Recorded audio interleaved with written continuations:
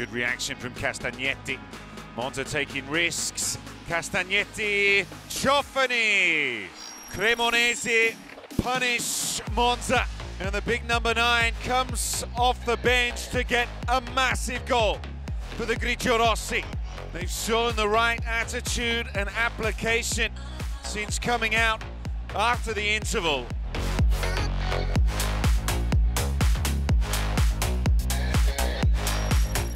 Muriel through to Duvan Zapata, who again, his touch just lets him down, the Colombian. Ruggeri. His cross! And finally, Atalanta hit the target and get a goal, and it's Marten de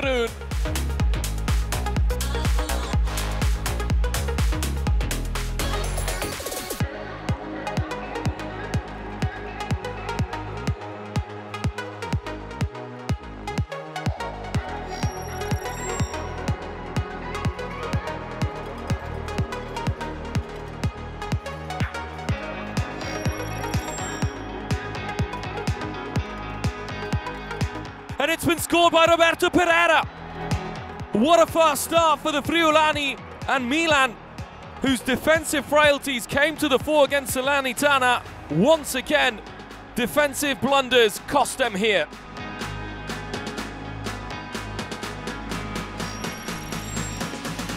Wijnaldum didn't see the angle. And in goes Zaccagni. The big moment is taken by Mattia Zaccagni. Lazio finally break through this stubborn Roma defence. And it is Zaccagni to apply the finish and give the Bianco Biancocelesti the lead in the derby.